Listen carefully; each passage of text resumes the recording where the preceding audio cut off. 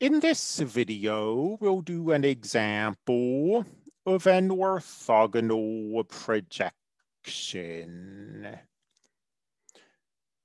So we have a subspace of R3. The space spanned by these two vectors. This is an orthogonal basis, negative four, negative one, positive five. The dot product is zero. So we can take a vector and project it onto this subspace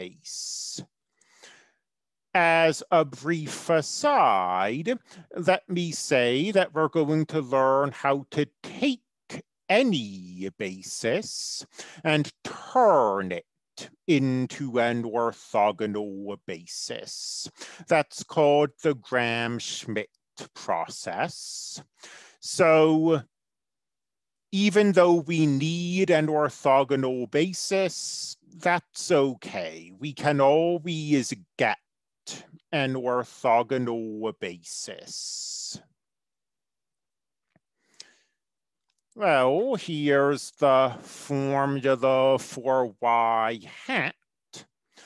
Once we find y hat, finding z is simply done via subtraction. And this is pretty uh, pretty plug and play. 2 plus 10 is 12. Minus 3 is 9. That's y dot u1. u1 dot u1 is 4 plus 25 plus 1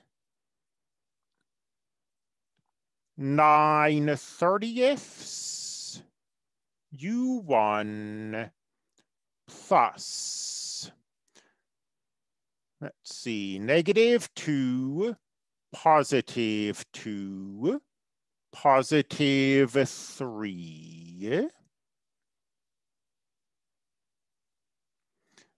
four, five, six,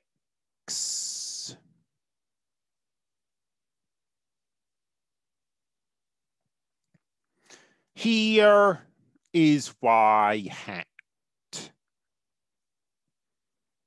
So that's three tenths u1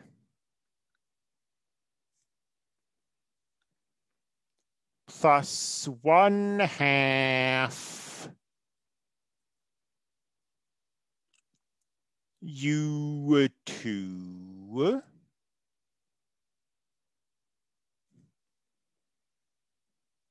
So okay. Six tenths fifteen tenths negative three tenths one half is five tenths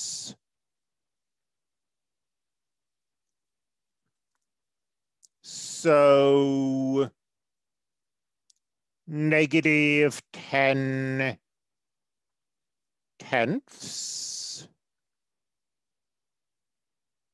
5 tenths, 5 tenths. I make that negative 4 tenths. 20 tenths two tenths.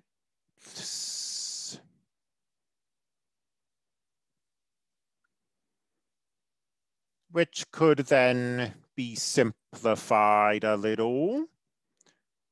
Negative two fifths. Um, 10 fifths, one fifth.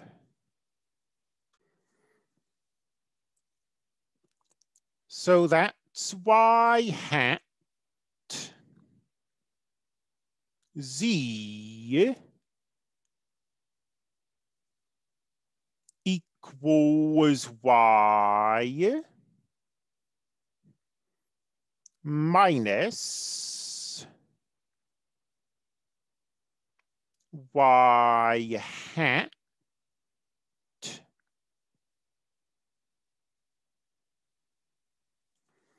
And what does this work out to do? Two. One is five fifths plus two fifths is seven fifths. Two minus two is zero. 15 fifths minus one fifth is 14 fifths.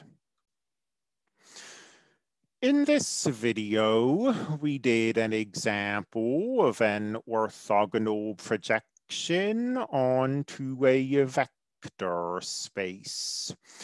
It certainly and regrettably has to be admitted that these problems can be a bit tedious just because of the number of computations we have to perform.